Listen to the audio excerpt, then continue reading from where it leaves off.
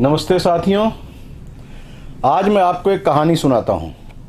कहानी यह है कि भेड़ों के झुंड में एक नेताजी पहुँचे। उन्होंने भेड़ों से सहयोग मांगते हुए वादा किया कि सबको ठंड से बचने के लिए शाल दी जाएगी। भेड़ें प्रसन्न हो गईं, तालियाँ बजाकर शुक्रिया अदा किया गया।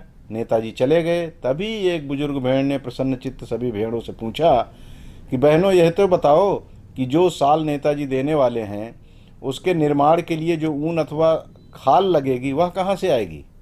भेड़ों में सन्नाटा छा गया, क्योंकि उनको समझ में आ गया कि खाल तो उन्हीं की उतरने वाली है। मैंने यह कहानी आपको क्यों सुनाई? आप समझ गए होंगे। चलिए थोड़ा आगे बढ़ते हैं, फिर लौटेंगे।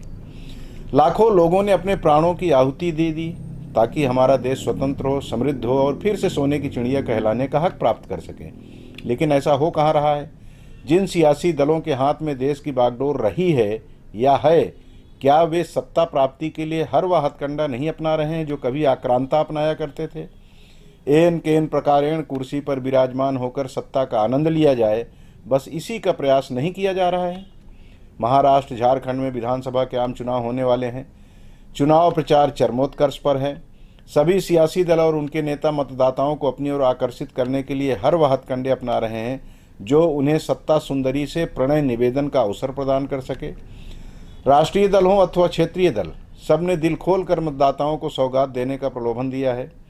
वह इस पर अमल कितना कर पाएँगे, यह तो कर पाएँगे, यह तो समय बताएगा, लेकिन इन पार्टियों का पहले किया गया वादा कितना पूरा किया गया है, यह तो सबको याद ही है ना? राजनीति और राजनेता इससे भली भांति परिचित भी हैं कि उनके लल्लो चप्पों में सभी मतदाता फंसने वाले नहीं हैं।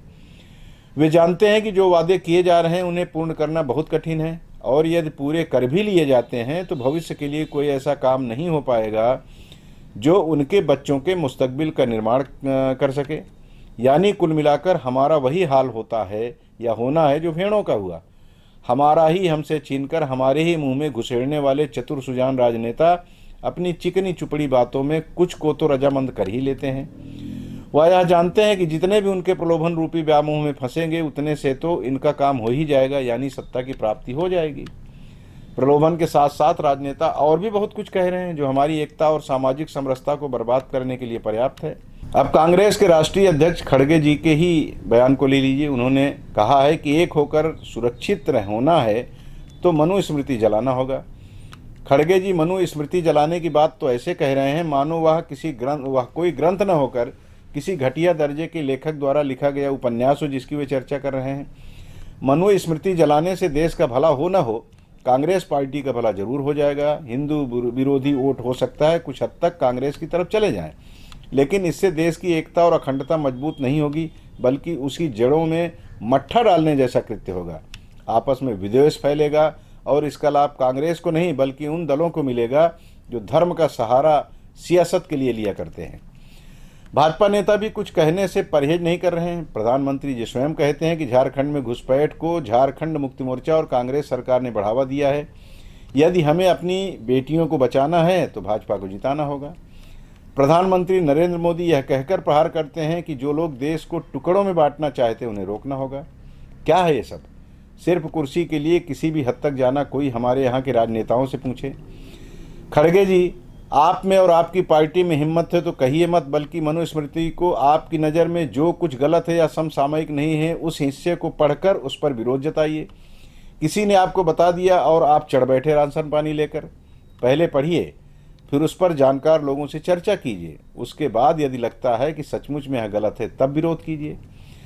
प्रधानमंत्री नरेंद्र मोदी जी भी जो कुछ कह रहे हैं, वह विशुद्ध रूप से लाभ प्राप्त करने के लिए हिंदू वोटों के ध्रुवीकरण की एक कोशिश मात्र है।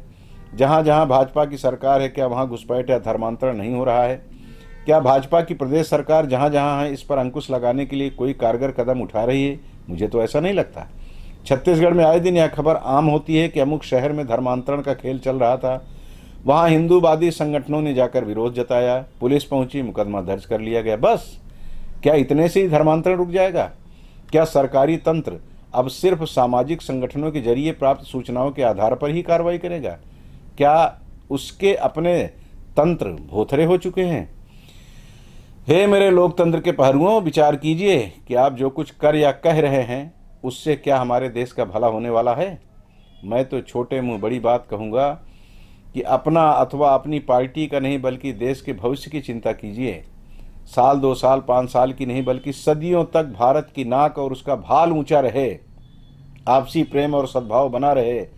भारत की सनातन संस्कृति, गंगा जमुनी तहजीब और साझा चूल्हे की रिवायत बरकरार रहे, ऐसा प्रयास करना होगा। जय हिंद।